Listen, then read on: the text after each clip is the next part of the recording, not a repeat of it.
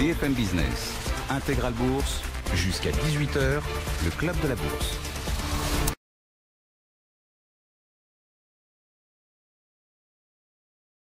Sur ce rebond, euh, Étienne de Marsac, moi aussi ce qui me marque, c'est que, bah, euh, un peu à l'inverse de 2018, mais tout monte. C'est-à-dire les actifs risqués, oui, on est riscon, donc les marchés actions, les marchés de crédit d'entreprises de, euh, montent bien sûr, mais à côté de ça, ce qu'on appelle les actifs refuges, bah, on voit l'once d'or qui monte, on voit les taux souverains, la dette allemande qui reste à des niveaux de taux dramatiquement faibles, qui, qui, sont quand même normalement des indicateurs un peu d'aversion pour le risque. On, on peut avoir ces deux situations de marché en même temps là. Est-ce que c'est un schéma durable pour les investisseurs en fait, on est passé euh, tout simplement d'une situation en 2018 où tout baissait entre le mois d'août et le mois de décembre en même temps, y compris euh, euh, les classes d'actifs refuges, à un univers où tout remonte en même temps. Donc ça, soulève quand même quelques questions sur la, logique fondamentale qui drive cette hausse qui est derrière. moi, je pense que le, tout début, alors on est un petit peu prudent en effet, et je partage les, les avis qui ont été donnés, c'est-à-dire on est prudent sur le rebond, en particulier le rebond action, un peu plus positif sur les rebonds de la dette que ce soit la dette du crédit européen ou bien euh, euh, des, pays émergents sur lesquels on pense qu'on a un petit peu plus de visibilité, et notamment une visibilité qui nous est donnée, c'est un phénomène nouveau par la Fed, et je crois que le point euh, finalement marquant de ce début d'année, c'est la réunion à Atlanta qui a réuni au même endroit de manière quasiment symbolique, donc Yellen, Bernanke et puis Powell, qui tous les trois ont adopté une tonalité extrêmement douce et se sont mis à parler au marché financier et non plus à parler en vrai anglais, comme le disait euh, Powell auparavant. Et parler au marché, qu'est-ce que ça veut dire? Ça, ça, veut dire, ben, on reconnaît que euh, les hausses de taux ne sont pas euh, totalement prévues à l'avance.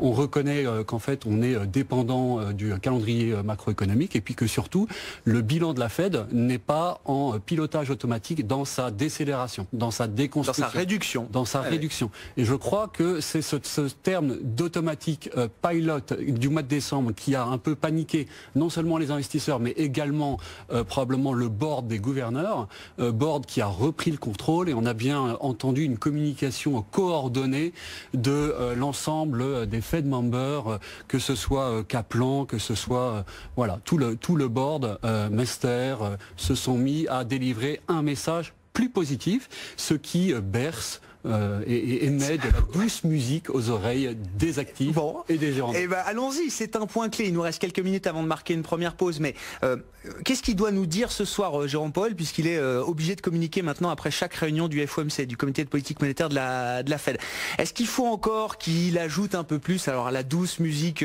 ambiante qui nous berce aujourd'hui? Est-ce qu'il faut qu'il calme un petit peu le jeu? Parce que le marché s'est quand même bien repris depuis la fin d'année. Enfin, vous l'avez noté, on en parlait en début d'émission il, va forcément en tenir compte, comme il a tenu compte de la dégradation des conditions financières.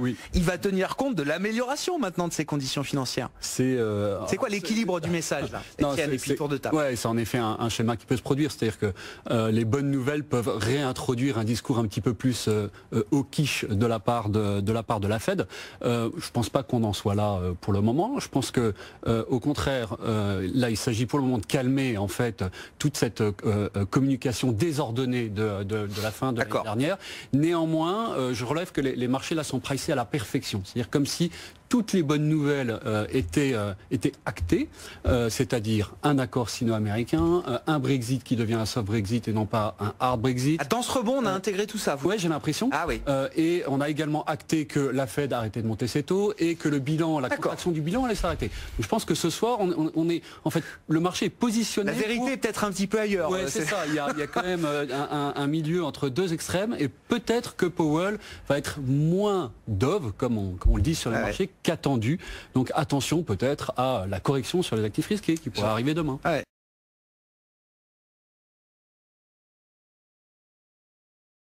Sur le Brexit, bah gardez la parole parce que c'est un sujet que vous aimez bien. Est-ce qu'on entre enfin dans le money time politique? Tout ce qui s'est passé depuis deux ans n'a servi à rien. Est-ce que c'est maintenant et uniquement maintenant que les vraies négociations politiques au Royaume-Uni commencent euh, Alors, tout ce qui euh, s'est produit depuis deux ans euh, ont permis de faire voler en éclats les, le gouvernement, le Parti travailliste et le Parti conservateur.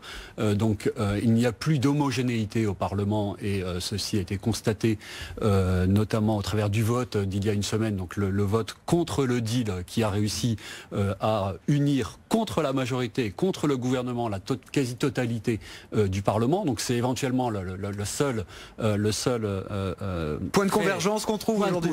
C'est non à ce deal ou non à Theresa May, mais ça. Moi, je le dirais, je le formulerais de manière inverse, c'est-à-dire qu'on trouve une majorité au Parlement pour dire on veut sortir de manière négociée, sauf que personne n'est d'accord sur le, plan euh, de négociation ou le, plan de séparation et certainement pas le, plan de Theresa May. Oui, euh, alors ensuite, moi je suis un tout petit peu quand même euh, navré, c'est-à-dire que hier on a assisté à une séance qui est un petit peu un condensé de comment un peu un peu lamentable hein, de d'intérêt particulier avant l'intérêt général.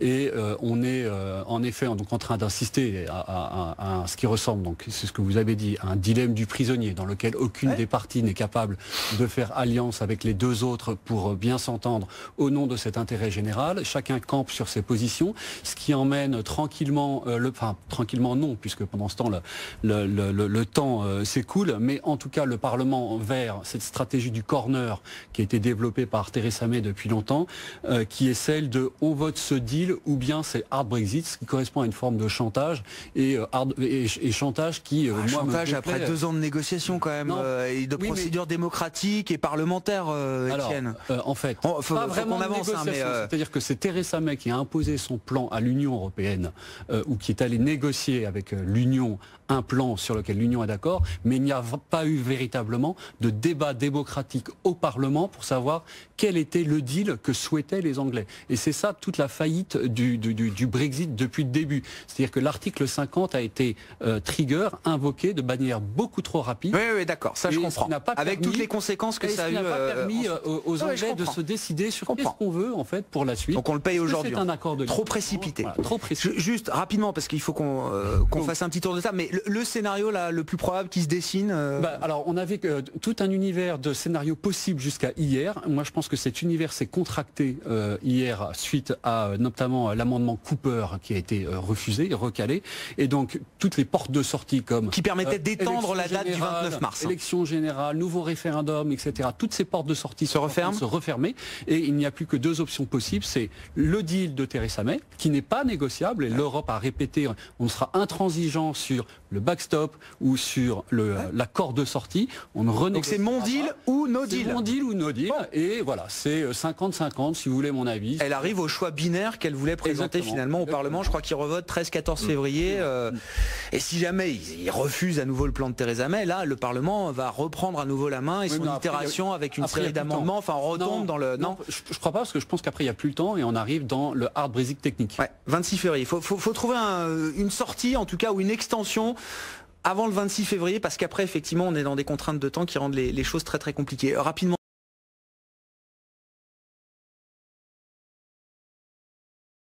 Pour conclure, euh, Étienne de Marsac, sur les stratégies de marché là. Ben, nous, on a lancé donc un nouveau fonds, comme vous le savez, qui s'appelle euh, Sony Multistrategic Bonds, qui, comme son euh, nom l'indique, est plutôt un fonds qui fait, qui se déploie en fait dans l'univers obligataire et dans l'univers obligataire multi multi devises.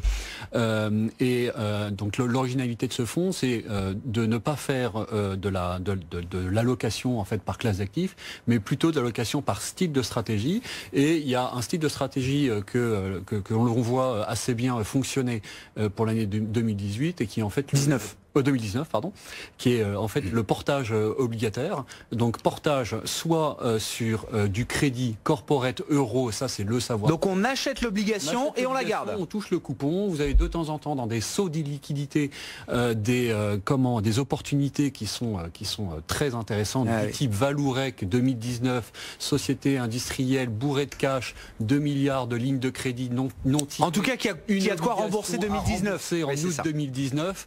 Et cette obligation paye du 10% de rendement. Donc, euh, en étant sélectif sur le crédit européen, on arrive à prendre euh, ou à offrir du revenu à nos, à nos porteurs. Et euh, on se déploie sur tout l'univers obligataire, notamment le carry en devise et le carry sur les, les, pays émergents. C'est-à-dire qu'on achète des devises émergentes, souveraines, libellées en devises locales, sur lesquelles le différentiel de taux est très important. Et si on se trouve sur un point bas, par exemple, de croissance mondiale, eh bien, vous avez un intérêt à aller vous porter sur de la devise de l'Afrique du Sud, par exemple, ou de la devise de la Turquie, sur lesquelles les, les risques sont moins importants que l'année dernière, notamment la Turquie. Hein. on a toute une levée d'incertitudes qui sont, qui sont produites, notamment d'un point de vue géostratégique, et on capte du différentiel de, de rendement. Ça, ça marche plutôt bien depuis le début de l'année. Merci beaucoup messieurs, merci d'avoir été les invités du Club de la Bourse pendant une heure sur BFM Business.